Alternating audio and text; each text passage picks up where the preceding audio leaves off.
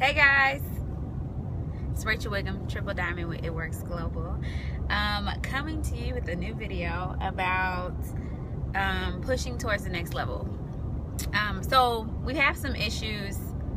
Well, I just want to speak in a general terms. So, say for instance, for those of you all who are starting to progress through the ranks, um, or say you're a brand new distributor that just signed up as a brand new distributor, of course, you're pushing for Ruby because you have that Ruby bonus and you're eligible for it. So, of course, Ruby bonus, in order to go Ruby, you have to do it within your first two months.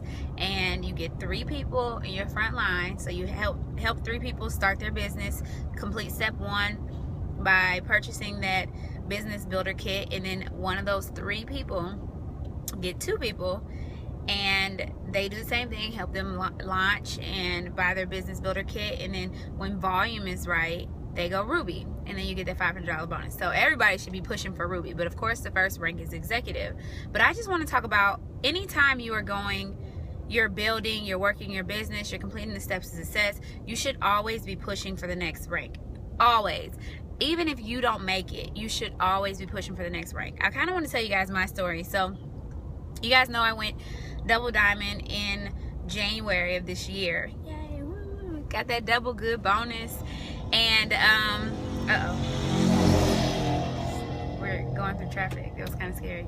Um, and I, well, the plan was for January, I was supposed to go double diamond. In March, I was, wait, February, I was supposed to go triple diamond. In, in March, I was supposed to go presidential diamond didn't work out like that. That's okay.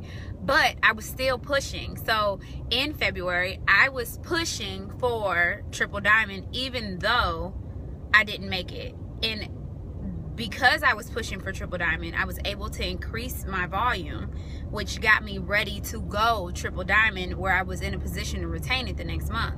So you always want to be pushing because if i wasn't pushing there is no way i could have went triple diamond in march. So if I wouldn't have been pushing these these upcoming months, there would be no, no, way I'd be in a position now to even try to go presidential diamond. So you always want to be pushing for the next rank. So even if you're a ruby and you drop down to executive based on volume or about dead boxes, you know, people dropping out, you're still pushing towards emerald. Your goal is to push towards the next rank regardless. Even if you're rebuilding you're still pushing towards going emerald right? Because you're going to retain on you're going to retain ruby on the way to emerald. So always be pushing. Always um, stay excited regardless of what's happening. People are going to quit. They're going to quit. It's a part of the process. Um, and you just have to keep going. You have to keep going. You have to stay excited and know that in, in god's timing everything will happen. Everything will fall into place. So i just want you guys to all keep that in mind don't be discouraged because people are dropping off and think, oh no, now I got to work on retaining. No, you're not working on retaining. You're pushing towards the next level, even if you don't get there, because that push is going to put you in a position to retain anyway.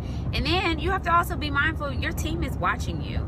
They're going to feed off your energy. And if you're just trying to retain and pretty much survive, which is what we people in the nine to five world are doing, right? You're just trying to survive we don't do that. That's not our mindset. That is an employee mindset to be just trying to survive. You are trying to thrive and push towards the next level and go beyond the ordinary. So you have to apply that to your business as well.